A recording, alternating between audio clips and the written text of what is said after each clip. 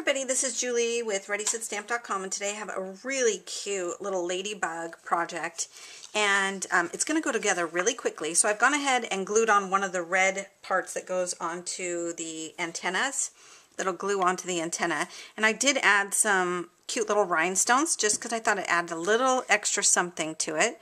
So I'm just going to glue that right down onto here. And now this white part had I known and thought this out a little bit, it, it has a brad hole all the way through it.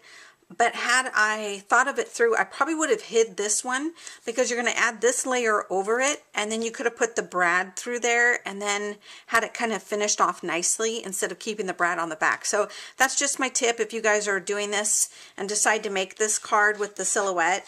Um, or if they have something similar to this on the Cricut, I don't know if they do, but if they do, that would be my tip. Definitely hide it, and then it'll just make your card look a little more finished, and I like a little more finished look. So there's that, and then um, the sentiment that I'm choosing to use today is from CardzTV, and it is called Mixed Messages, so I'm using this little smile right here, and I've got this cute little... Um, smile onto this. So I am just going to add a little bit of glue onto the back of it, like that. And we'll put that right down here. And then this is the, these are two layers. So I glued on the black layer and the red layer goes on top and then I added a few little rhinestones so it goes just like that. You guys are going to love how easy this goes together. And then you're going to take this one and put this one, oops, I left one so I could glue it and kind of show you guys how it goes on. So you're just going to take a little bit of glue onto the red side and glue it onto the black side. And I love that it has a little ruffled edge. It's so cute. Look at this little ruffled edge. I'm going to scoot this off to the side so you guys can see this. So look at this little tiny ruffled edge. Isn't that the sweetest? It's so cute. Okay, there's that. Alrighty.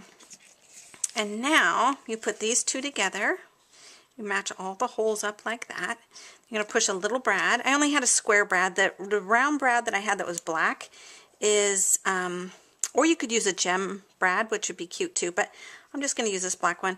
Um, the, what am I trying to say? The round black one that I had was so tiny it just fell through here. It was like a little mini brad. So anyway, I'm going to kind of open it just a little, straighten this out, and then put the brad right here. But you know what I'm saying, like if I could have put it under the white, I just think it would have made it look a little bit more finished, so I would prefer to have it look like that. And then you just open it, it says smile, and you can write a cute little message in here. Isn't that so cute? Really quick, I thought that this needed a little face, so I did the PG Keen Sweet On You face assortment, and I love the little face on it with the cute little eyelashes and stuff, so I think it's a nice addition to it. So I hope you guys enjoy this. Have a great day, everybody. Bye-bye.